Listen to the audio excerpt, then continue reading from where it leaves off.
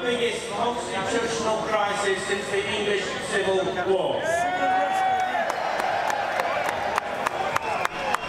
Our message today, plain and simple, to Parliament is dump the deal. Dump the deal! Brexit needs exit.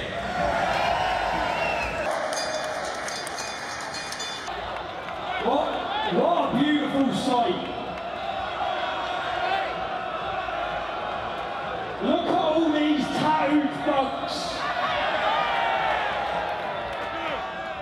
First of all, what you've witnessed this week by the media and the establishment is fear.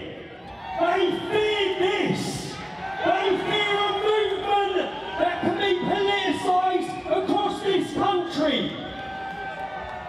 Let this be the start of a political mass movement in this country to represent every single one of you that feels voiceless, that has no representation, and more than anything, when I, when I went to the House of Lords with Lord Pearson, and I saw the reaction, and I saw MPs, whilst under parliamentary privilege, saying disgraceful lies about me, I sat for the first time and thought, one day I'll be sitting in there amongst you.